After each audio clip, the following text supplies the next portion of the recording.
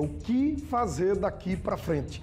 A gente vai voltar ao vivo lá para o mercado da produção, onde está Bruno Protásio. Bruno, a gente quer saber, e todo mundo que está em casa também, né?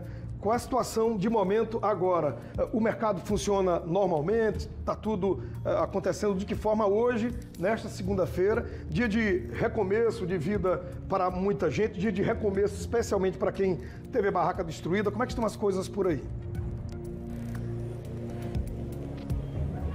Movimentação continua por aqui de comerciantes, de clientes também, nas áreas principalmente que não foram afetados, obviamente, né, Douglas? Aqui a gente mostra todo o cenário de destruição que a gente mostrou também do, na reportagem agora. Nós estivemos aqui na manhã de sábado observando que muitos estavam contabilizando os prejuízos. Quem tinha sua barraca nessa área aqui perdeu praticamente tudo, porque esta foi a região mais afetada pelo incêndio. Como aconteceu na área externa do mercado da produção, atingiu feirantes aqui que ficavam nessa região conhecida como Feira Livre. Você ouviu do administrador do mercado que eles vão buscar esse auxílio aos comerciantes. O seu Mário Jorge dos Santos conversou com a gente no sábado, está aqui mais uma vez. Seu Mário, é, já foi feito algum auxílio por parte da administração do mercado? Vocês já receberam algo de sábado para cá? Só a gente fez, a prefeitura ontem estava aí, fez só o cadastro do que perdeu, as coisas que perdeu. É tudo anotado. Falaram que hoje vinha para cá, para resolver tudo isso. Qual? Eles falaram que hoje vem para cá para tentar é. É, re recuperar alguns materiais. O é, que, que, eles vão fazer? Fazer de novo, medir os tamanhos do barraco que era feio, para no mesmo canto fazer outro barraco. É. Eles se comprometeram a, a fazer? Fazer, a metade de, de venaria e o resto de madeirite. Construção das é, barracas aqui. É, diz que ajudarem. Aí então aguardando aqui, esperando para ver o que é que vai acontecer, né? Se vai melhorar mesmo. Eles falaram que horas hoje isso vai acontecer hoje? Ele disse que vinha hoje, não falou o horário, né? A partir de 8 horas mais ou menos, né? 8 horas. Eu acho que sim. Eu hoje não fui nem trabalhar por causa que também não tem mercadoria. Queimou tudo no fogo. Oi. Friso não tenho, foi dois frisos que queimou. É, a balança também queimou. A bomba d'água queimou. Nesse momento a ajuda é muito importante, né? Para tentar. Se ajudasse, era, se ajudasse era bom demais, rapaz. Era. era se ajudasse era bom. Muito obrigado, viu, senhor Jorge? Que Deus abençoe, que vai dar tudo certo daqui para frente.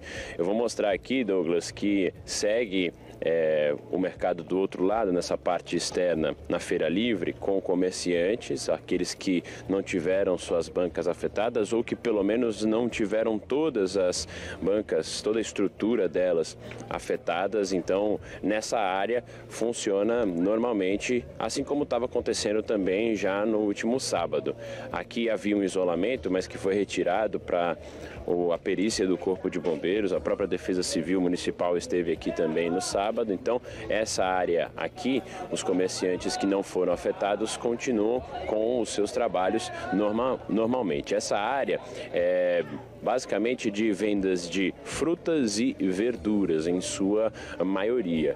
Apesar dessa região, é, alguns não tiveram é, suas mercadorias afetadas, apesar disso, é, aqui outras tiveram basicamente quase toda a estrutura também danificada. Se você observar aqui, por exemplo, esta banca ainda se manteve até certo ponto, mas ó, o telhado foi destruído, a parte mais próxima que ficou ali das chamas também ficou tudo destruído. Vai ser preciso também aqui fazer toda uma estrutura, refazer e pelo que a gente ouviu agora do Mário Jorge, há o comprometimento da prefeitura através da administração do mercado da produção de auxiliar na reconstrução destas barracas que ficavam neste ponto. A gente não teve o número exato de barracas atingidas porque tiveram aquelas que foram completamente destruídas e aquelas que foram atingidas parcialmente. O que nos passaram é que o número gira em torno torno de 15 a 20 barracas mais ou menos,